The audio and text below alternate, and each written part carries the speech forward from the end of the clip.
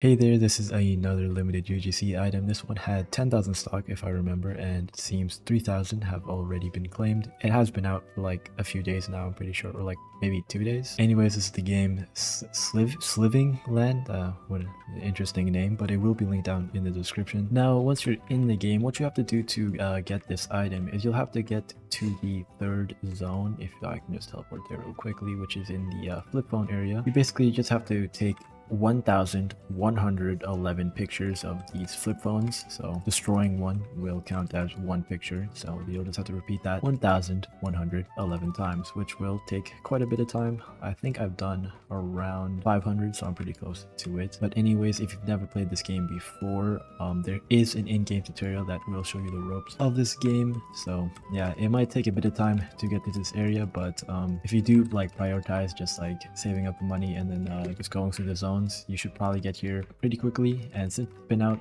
for quite a bit of time and surprisingly it's still like available, you probably could or should be able to get it if you'd like to try. But anyways, uh, thank you for watching. Hope this helped and uh, see you in the next one.